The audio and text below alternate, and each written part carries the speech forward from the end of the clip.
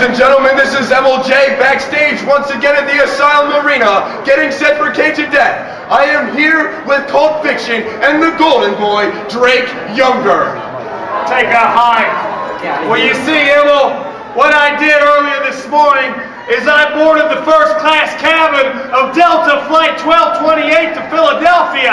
And after I reclined back, sipped my mimosa, and flipped through the pages of the Sky Mall magazine, what I did is I pulled out the plastic and I ordered the finest duty-free vodka and whiskey that was available. Because tonight, there's going to be a celebration after the devastation.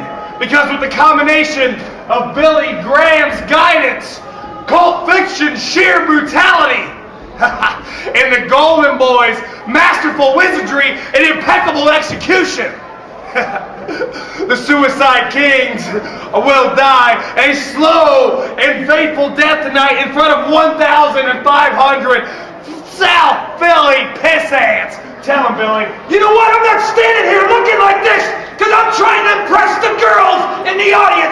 I'm standing here bringing it down to the bare bones because this is a moment that I've been waiting for for 15 fucking months, DJ Hyde, that every ass kisser in this building when the franchise wrestler of this company, the Golden Boy, Drake Younger, lock up with my children, the sickest motherfuckers in this business, my doggy, 13, the littlest dog with the biggest height, the international deathmatch superstar of Masada, and the ultraviolet Terminator brain damage. There's going to be a massacre in this fucking cesspool, you South Philly asswipes. Fuck you all!